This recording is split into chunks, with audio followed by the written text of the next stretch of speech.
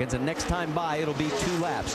This will be for Chevrolet their 350th nationwide series win if Harvick can hold on. And Harvick's saying right now, don't anybody screw up. I don't need a caution flag. Everybody drives smart. And this pit crew's thinking, please win this thing so you can bail us out. Here's the other thing. Remember, he said, if I'm having fun, I may go for the championship. What do you think? Is he well, having fun? If he wins this race, he's going to be having a lot of fun. And if he wins a lot of races, I think he'll make that decision to run for the championship. Going around some lap traffic there. And now, next time by, it'll be the white flag lap. His last win in the Nationwide Series was Atlanta last September. White flag. One more time. One more time. A mile and a half to go for Kevin Harvick. Two horrendous pit stops, and he has fought his way back and still leads by 1.4 seconds over Denny Hamlin. Amazing job Kevin Harvick's done with his nationwide team, his truck team. It's just uh, incredible machines he's building. Great talent. As he gets through turns three and four, it'll be his second win here at Las Vegas and the 35th of his career as he comes across the stripe. Kevin Harvick comes back from near disaster on pit road and takes the win over Denny Hamlin by 1.3 seconds. Carl Edwards third, Brad Keselowski fourth. Gotta work on pit road, but this thing's a bullet. And Brian Vickers fifth.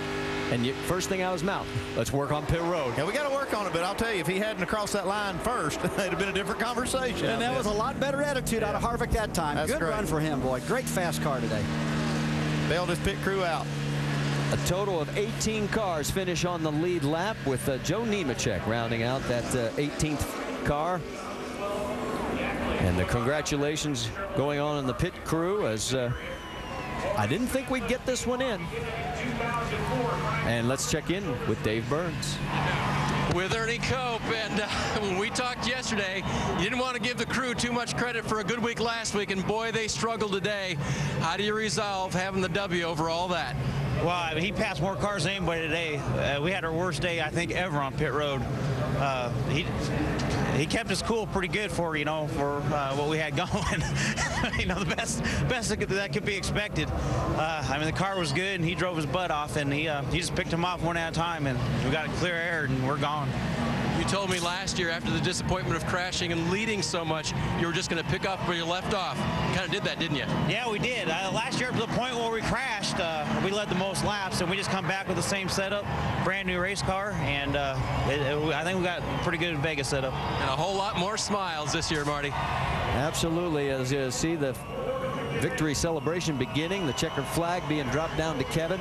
While we uh, pointed out the top five, how about sixth place? Trevor Bayne came back last week after the crash at Daytona to finish 11th. Now he has a career best sixth at age 19.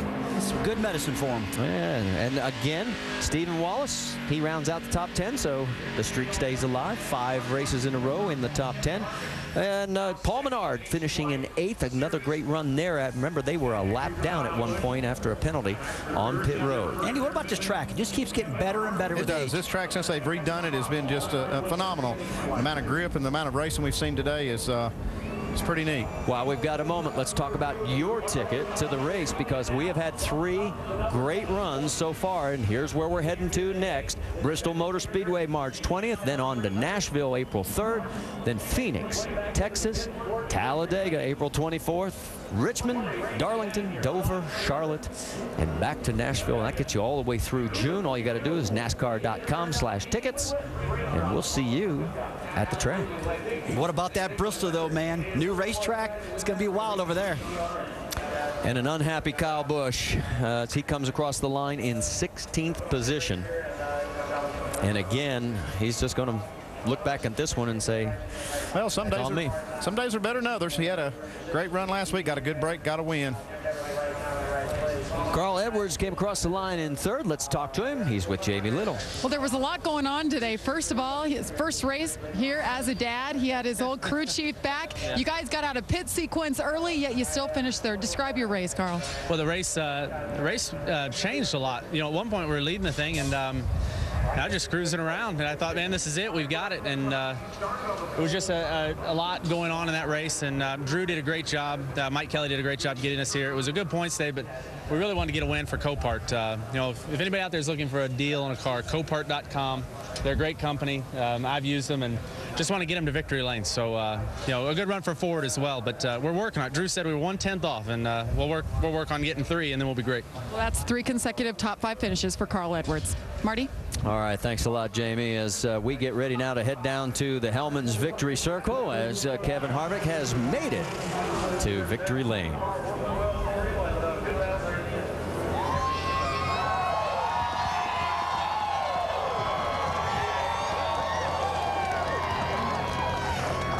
Twice before, Kevin Harvick has led the most laps here at Vegas and not won, but today leads the most laps and does win. How good was this race car to be able to make up for the spots that you lost in pit lane today? Yeah, just um, you know the car was really fast. We got we definitely got some work to do on pit road. Uh, luckily, the car was fast enough today. But I got to thank Rheem. Um, they've been uh, with us for a long time, and they're the only sponsor that we hadn't taken to victory lane and everything that we've done. So, Rheem, Chevrolet, Jimmy John's, all the fans for sticking with us this and everything that we do. Armor, who am I missing? Uh, Longhorn, Charter, everybody that helps uh, helps us out on this car. Now we heard on the radio there was sometimes it was a little difficult to keep your composure after those miscues on pit road. But how did you regroup and get this thing to the front again and again and win this race? Well, I get mad, and uh, they know how I am, and they know what I expect of them, and that's not uh, that's not what what we expect on pit road. We expect to our pit road performances for all the effort that we put into it to be like what we are on the racetrack.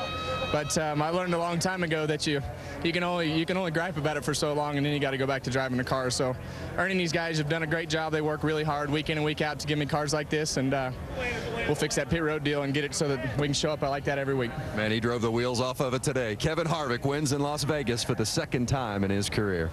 Marty? Dave?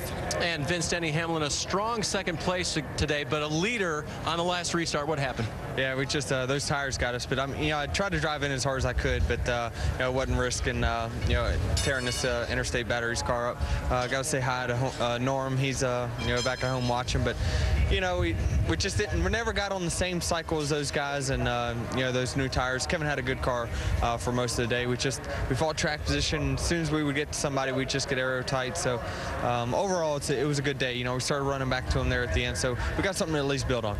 Second place for Hamlin. Jamie? Brad Keselowski brings it home fourth. What happened there early? Uh, we just, uh, you know, trying to be smart and uh, uh had some kind of, you know, engine issue. I'm not sure what, uh, but it, it, would come and go, and uh, by the end it was really strong. We had a great discount tire Dodge. Felt like we're as good as anyone else. Just fought some track position, but, you know, the biggest thing from this weekend is we qualified well. It's the first time I've ever qualified well on a track like this, and we showed speed all week long. So we'll just keep working out the little bugs, and we'll find ourselves in victory lane. And you jumped up to second in the points. Alan? Yeah. Okay, Jamie, thanks.